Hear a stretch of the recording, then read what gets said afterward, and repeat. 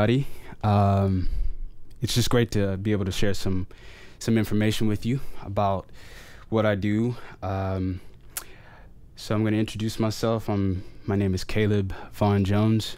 I play the cello. I also um, work kind of behind the scenes in uh, the music industry doing production. And uh, so, yeah, I'm just going to teach you guys a few things about this and uh, um, also want to just thank Tony Small uh, for this opportunity to be able to uh, to uh, share some information with you. So what we're going to be talking about is um, different styles, um, accomplishing playing different styles, almost like an actor is able to put on different uh, caps and play different roles um, as as a um, as a theater artist or whatever. So with what I do, especially working in video game music and film, a lot of the times we're trying to convey a particular idea. Um, so I'm gonna play two different tracks and we're going to go through two different things that I've worked on in the past and um, just kind of dissect how we went about it. So we're going to start off with um, some music from a video game called Civilization 5. This game came out in 2010. And uh, so for this video game, we um, needed to convey um, the, a powerful warrior by the name of Genghis Khan. And uh, so this is some wartime music when he was going to battle. And uh, and if you don't know anything about Mongolia, it's in Asia and uh, just above China. And uh, you can hear some of the musical influence um, influences there because they do a style of singing called throat singing. So one of the things you'll often hear is um, this really, really wide vibrato that starts in the throat. It's kind of like ah, ah, ah, ah, ah right? And so um, on the cello, um, we wanted to see if we could try to imitate some of those sounds uh, using this instrument. So I'm going to play um, the original track um, that in, in, the original long song is what is called the long song that you would find in Mongolia and let you just hear some of this throat singing. So just check this out. It's pretty, pretty unique.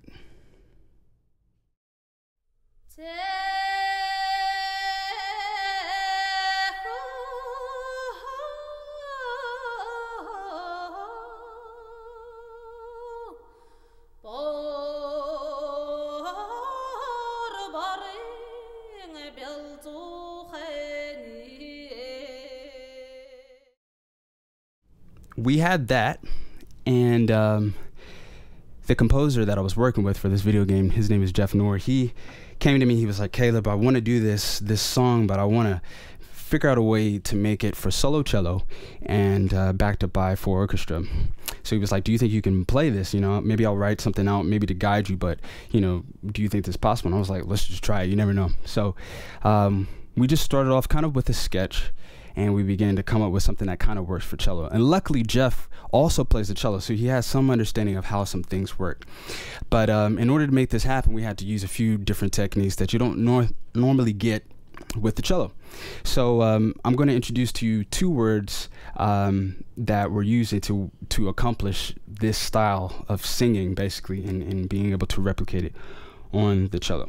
So the first word, um, you may have heard of it. A lot of singers use it all the time. Think about Whitney Houston, uh, Gladys Knight. Think about Beyonce, Alicia Keys. All the great singers utilize this technique, and that technique is called vibrato. And now, if you don't know what vibrato is, vibrato is basically when you're basically waving the pitch around. So instead of having a straight tone like ah, right? What you're doing instead is going ah, right? So there's a variation in the sound. And the thing is, cello players, violin players, even trumpet players do the same thing, you know, on their instruments as well. So I'm just going to give you an example of a very basic uh, classical, I guess, uh, style vibrato. And this, is, this is what it would normally sound like.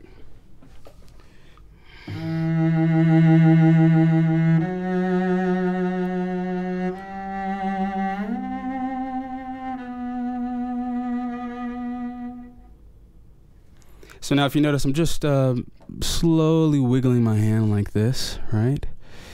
And uh, trying to make that, you know, the pitch vary just a little bit. So instead of holding my hand still, I'm actually moving it this way, right? And allowing my fingers to, to wiggle. So check this out. Instead of straight, I'm just adding a little bit of motion It's very similar to what a singer does the same thing. So um, we took this this style and we realized that um, in Mongolia they they do an even wider vibrato than you know what we would hear in the U.S. with R&B music and and pop music.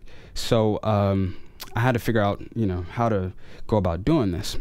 Uh, we had to do a couple of things to make it work on the cello. We changed the key because the key that she was in doesn't really work so much for the cello and the orchestra. So we just did something which we call transpose, and I guess this would be the second word. So we're going to do three words instead of instead of two. But transpose is basically where you take something um, and you move it to a different key. So we just transposed it to a different key to to make it work. So um, just check this out. Now we're going to have it starting on B flat.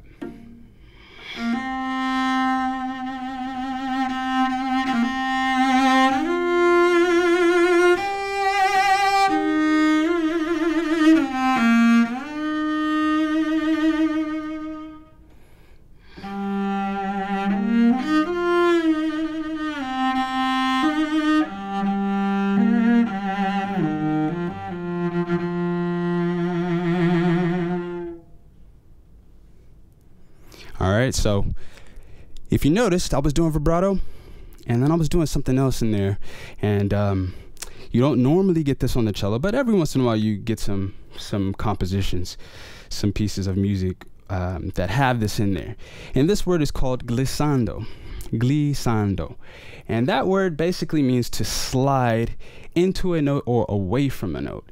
And um, it's an effect that, to be honest, I use quite a lot for uh, film scores and video games, especially video game stuff. It just really works really well. So um, let me just give you an example. So instead of just uh, cutting off the note, I'll just go. Uh, I'll pull away from it, and that's something that you get a lot um, in Mongolian music, also in Chinese music, because of some of the instruments they have. One of the instruments is called the erhu, and you know they slide around. They do glissandos all over the place, and so um, I'm trying to imitate a lot of a lot of that influence in the music. All right, so that is the first piece, and I'm just going to show you basically we have you know just the cello starting off and to be honest for this recording we just recorded the cello first and, we, then the composer went and figured out the rest later. And so um, you know he spent maybe a month or a month and a half just kind of working on the orchestration. And then he came up with this. So this ended up with uh, you know solo cello and four orchestra. So here's the final result. I'm just going to let you hear it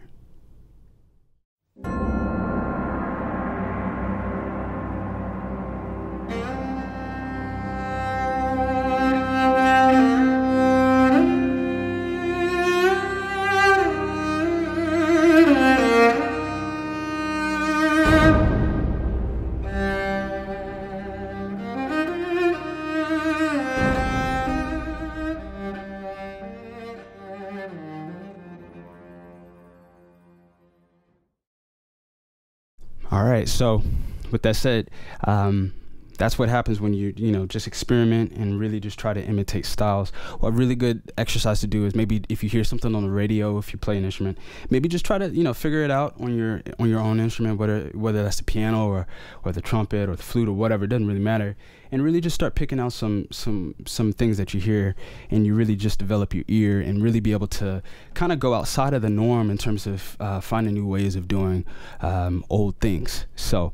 Um, I hope you guys are staying safe. Um, you know, and I'm I'm sure that you all will do very well if you commit yourself uh, to whatever uh, discipline that you're doing, um, whether it be music or art or sciences or whatever.